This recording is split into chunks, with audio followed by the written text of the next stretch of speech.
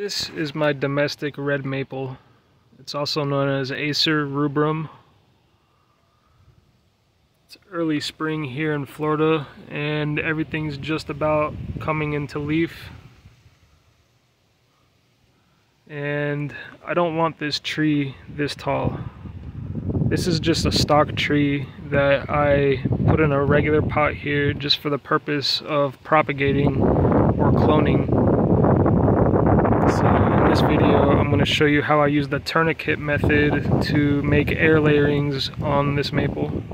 A few air layerings.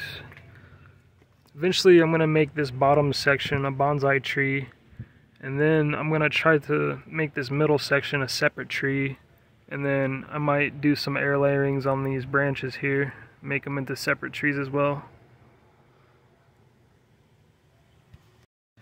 Last year I didn't have any success using the regular ring bark method where you cut a strip of bark away from the tree in order to air layer it. I guess it was drying out too much here in Florida and it was causing dieback really bad and I didn't have any success so this year I'm going to try the tourniquet method. With the tourniquet method you basically wrap a piece of wire really tightly around the bark and it suffocates it to where the roots will start growing right above where you suffocated it from. And then you put a ball of sphagnum moss around it. That way the roots have somewhere to grow. And then eventually when you see roots coming out you can cut it off and then it'll create the separate tree. Right so the first thing you want to do is get your materials ready.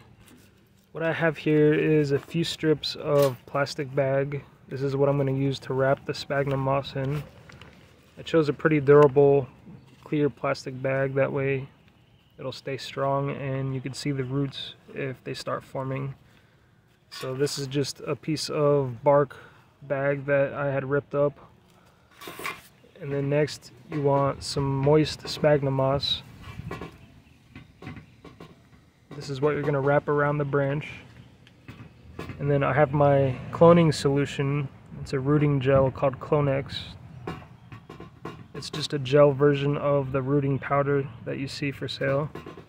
And then I have a few bits of recycled scrap wire. This is aluminum wire, so it'll bend and hold its shape. So I'm going to start my first air layering right here on this tree. I had cut this in the past and then the new leader grew from here, but I'm going to just keep this lower section for the bonsai tree. So this whole section I'm willing to cut off.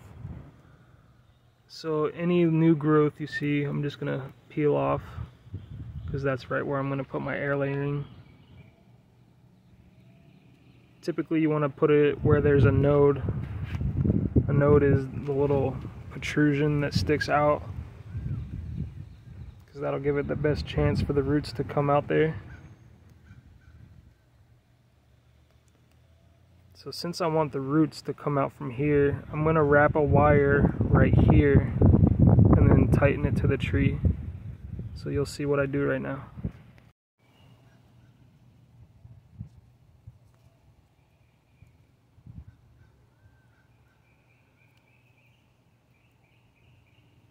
Just to fold it over like that and then just twist it till it kind of goes and bites into the bark a little bit.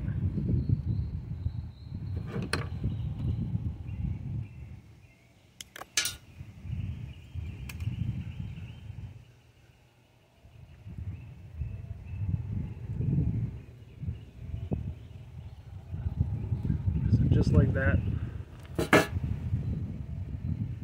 It's lightly bitten into the bark. You don't want to tighten it too tight, just so it won't move if you wiggle it back and forth.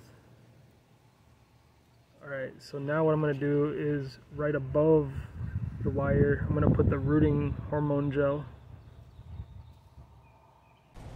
Alright, got my rooting gel.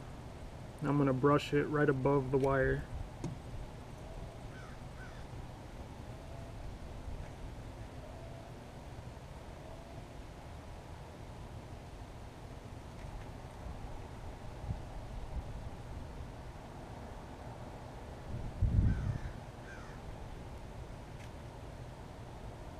Just like that.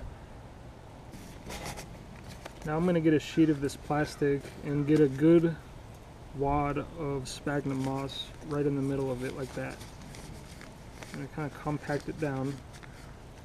And this part can be kind of tricky, so basically you want to put the sphagnum moss right above where you put the choking wire. So just like that, I'm going to close the bottom of the bag off,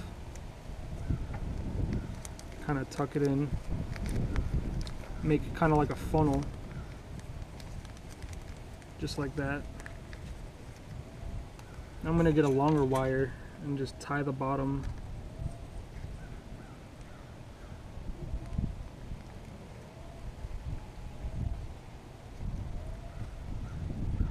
And then you want to make it snug so nothing will fall out. So just like that, where it gripped it. Now you can kind of just pack in the sphagnum moss to the root ball.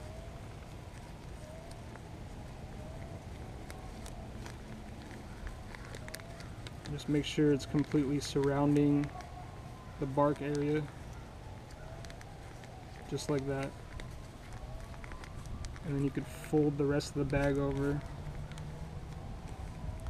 just like that and then tie the wire to the bag so I just kind of wrap it around the middle to kind of hold it tight and then I wrap it around the top to keep the top closed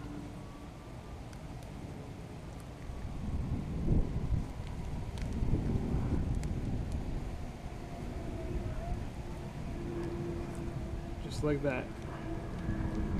Then you can go ahead and trim off the excess wire.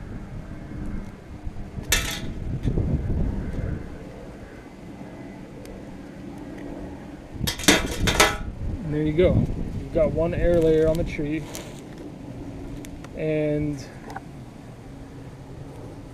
basically you just let it grow here until you see roots come out of it and then you could snip it off right here so right now I'm going to go ahead and do the rest of the tree, but this is the same procedure that I'm going to use for each branch.